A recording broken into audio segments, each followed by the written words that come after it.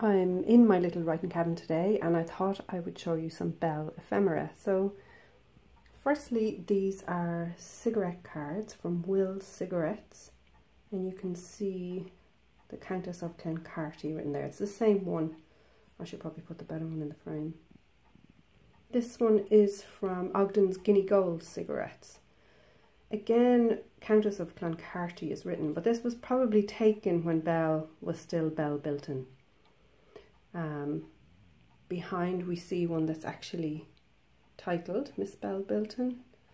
It's a photograph by W and D Downey in London and Belle actually broke some of those negatives because she wasn't happy with how, in a sense, racy she looked in those pictures. So she wanted to suppress them.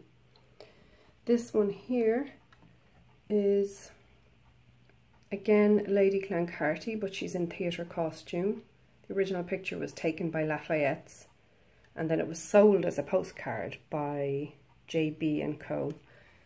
This is a magazine from Australia from the 1930s uh, called Parade and it's recounting Belle's.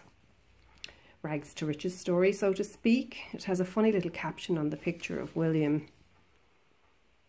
The Earl didn't look so good when his irate father packed him off abroad for getting himself involved with a pretty chorus girl. it's quite funny. This is another piece of ephemera I bought online, the sale of the Clancarty pictures, um, which was interesting. This is the Clancarty coat of arms, another cigarette card. That's Garbally Court there, the house where Belle lived, which still stands today and is a boys' school. My son goes there, so I'm regularly up there. And it has the Consilio et Prudentia, which is the coat of arms or the family motto. Um, but they do have another motto as well, the Trench motto, because they had several names, of course, Clancarty, Trench, Le Poer Trench. They were also the Marquises of Heusden from the Netherlands. This letter is very interesting. Here's a nice piece of ephemera I acquired online. It's a letter from William when he was Viscount Dunlo about a pig sticking trip in India. And it took, he wrote this letter during the time he was away from Belle when he went abroad.